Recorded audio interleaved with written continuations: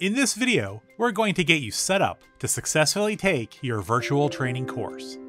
The first thing we need to do is to verify that we're using a supported browser. Currently, we recommend Mozilla Firefox or Google Chrome, using either a private window or incognito window. We also recommend you avoid connecting through any VPNs or web proxies. These can sometimes hinder your ability to connect. Next, let's test our compatibility with the Red Hat Training Lab environment. In the first dropdown, we want to select Virtual Training. Under Location, select Country. Next up, insert your full name, your email, and your Red Hat customer ID. When you're finished filling those out, click Run Tests. Be patient, it might take a minute or two to see your results.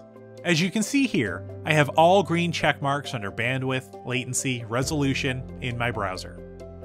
If any of these tests have failed, you may need to think about network or machine upgrades in order to have an optimal experience during your course. If you need any additional help, head over to rol.redhat.com and click the support link on top of the page. Or reach out to your local training team.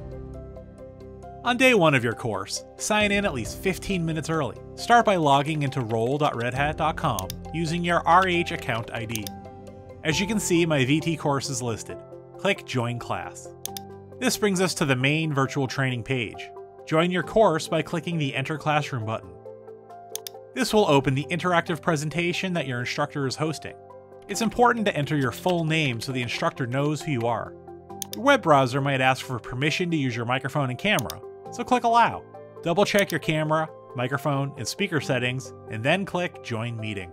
Since we signed in using both our first and last name, our instructor can easily identify us. It looks like we still have a few minutes before our class begins, so let's go download our student guide. Simply click the Resources tab here. Choose the language of the ebook that you prefer, then fill out the required information and wait for the download to begin.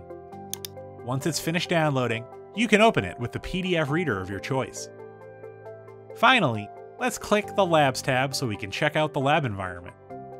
Since you're taking a virtual training course, you'll find that your lab environment has already been started for you.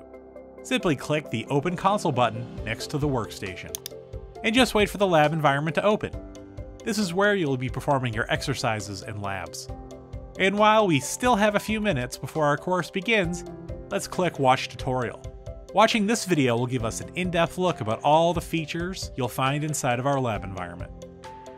Thank you for watching. We hope you have a great virtual training course.